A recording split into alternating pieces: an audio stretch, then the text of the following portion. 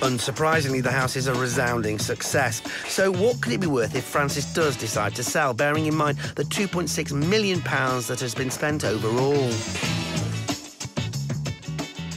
If we were marketing this property for sale in the current market, we'd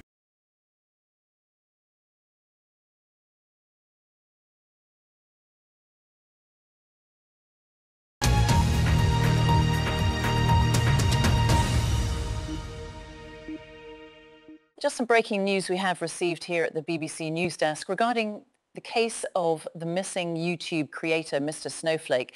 A spokesperson from the Gorl World Police has confirmed that a body has been found in the loading area of a Kuwaiti restaurant.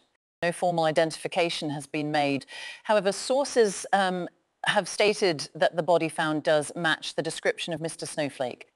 Reports also note that um, the individual was discovered wearing a red pillowcase over their head, brandishing the hammer and sickle insignia of the former Soviet Union. We will have more on this story as it develops.